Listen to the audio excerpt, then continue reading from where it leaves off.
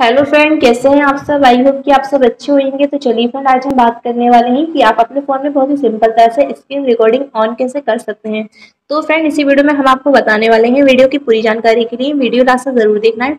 अगर आपने अभी तक हमारे चैनल को सब्सक्राइब नहीं किया है तो आपसे रिक्वेस्ट है फ्रेंड कि आप हमारे चैनल को सब्सक्राइब कर लें। बहुत सिंपल सिंपल स्टेप है जो आपको देखनी है फॉलो करनी है। तो आइए वीडियो स्टार्ट करते हैं। स्क्रीन रिकॉर्डिंग ऑन करने के लिए आप सबसे पहले अपने फ़ोन की नोटिफिकेशन ऑन कर लेंगे।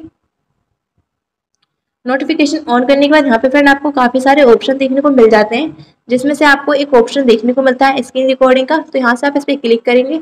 इस पर क्लिक करने के बाद यहाँ से आपको ऑप्शन देखने को मिलता है स्टार्ट रिकॉर्डिंग यहाँ से स्टार्ट पे क्लिक कर देंगे। स्टार्ट पे क्लिक करने के बाद यहाँ से फ्रेंड आपको देखिए ऊपर सेकंड चलने लगते हैं।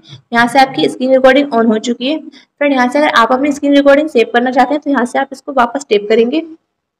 इस पर टेप करने के बाद देखिए फ्रेंड यहाँ से आपकी स्क्रीन रिकॉर्डिंग सेव हो चुकी है। यहाँ आपको ऑप्शन देखने को मिल जाता है video save to the screen recorder folder तो फ्रेंड इसी के अकॉर्डिंग आप अपने फ़ोन में बहुत सिंपल तरह से स्क्रीन रिकॉर्डिंग ऑन कर सकते हैं। आई होप कि आपको वीडियो अच्छी लगे।